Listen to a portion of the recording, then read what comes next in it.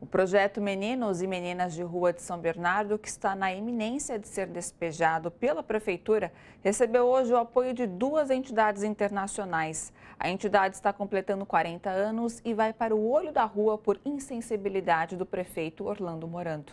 A ação foi movida em 2018 pela Prefeitura de São Bernardo do Campo, no ABC Paulista.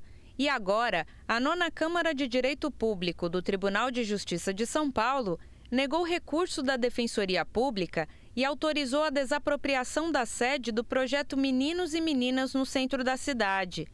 Desde o início da ação, o projeto tem recebido apoio nacional e internacional, como das entidades Plataforma NAPS e Church World Service, que atuam apoiando projetos em defesa dos direitos da criança e do adolescente. Nós apoiamos mais de 35 anos o, o trabalho que o projeto faz aqui e para nós é um projeto que não só tem relevância aqui no São Bernardo, no, no, Brasil, mas também na região. Nós apoiamos outras organizações e o projeto sempre foi um modelo, um modelo para outras organizações seguir a luta de direitos humanos, a coordenação, a questão do racismo, a questões relacionadas mais no Brasil que são também replicadas em outros países. Meninos e meninas de rua nos ensinou ao longo desses anos uma metodologia de trabalho, um trabalho que surge da própria atenção a meninos, meninas, adolescentes e suas famílias, com forte componente de desenvolvimento comunitário. Nós de organizações da América Latina temos aprendido muito com o seu trabalho. A ação protocolada pela prefeitura indica que interesse público que permite o uso desse espaço deixou de existir.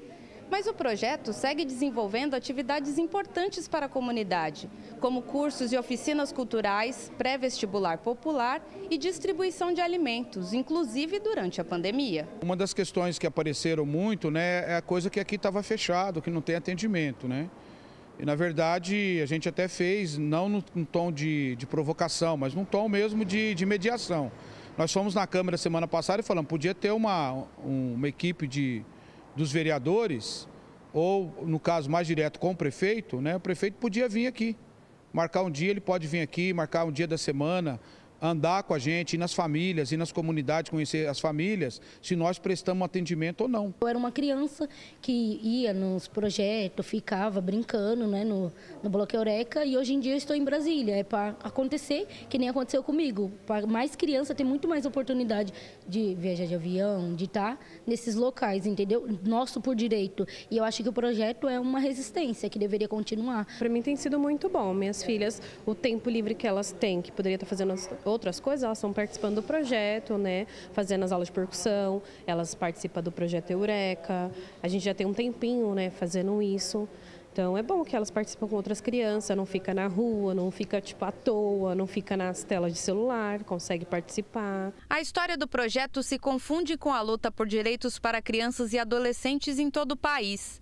Portanto, essa medida atinge em cheio uma série de políticas que nunca foram priorizadas pela administração local e que garantem o desenvolvimento e dignidade de milhares de crianças e adolescentes de toda a região. Esse local aqui é um local histórico e a, o não fechamento do, da abertura para um diálogo, né?